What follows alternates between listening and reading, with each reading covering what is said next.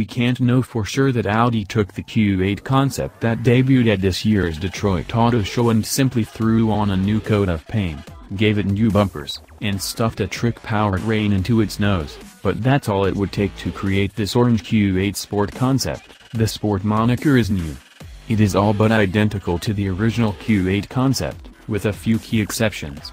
That engine, and electric motor, and electric compressor, both vehicles preview the Q8, a coupe variant to be built on the Q7 SUV platform.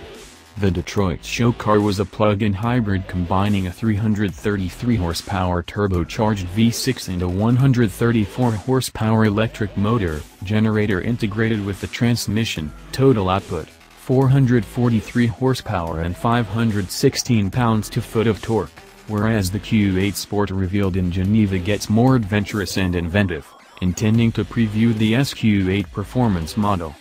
For starters, the Q8 Sport is a fairly basic hybrid, with no allowance for plug-in charging, that uses a smaller, lighter 0.9 kWh lithium-ion battery pack to deliver electric assist via a transmission-mounted electric motor during acceleration as well as brief spurts of electric-only driving.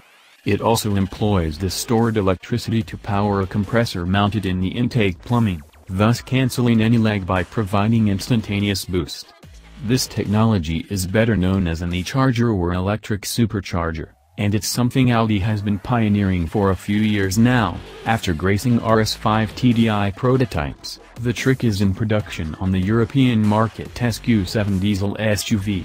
Between the electric motor, generator and the transmission and the e-charger boosted V6, the Q8 Sports powertrain packs 476 horsepower and 516 pounds-to-foot of torque, the latter figure matching the plug-in hybrid Q8s.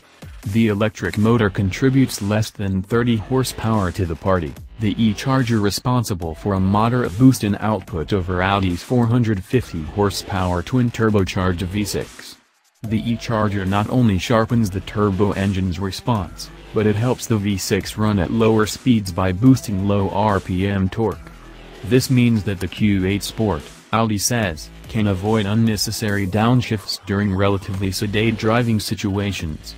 The good news is that this powertrain is on its way to production autos soon, including the SQ8 performance version of the SUV coming later this year or early next year.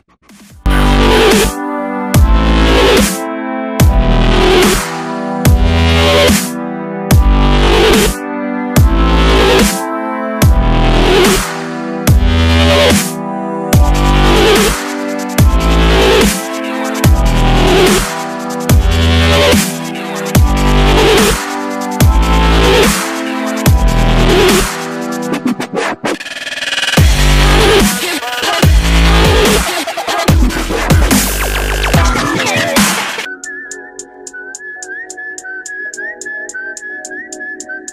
Rob Stone, two damn phones, Babylon's came.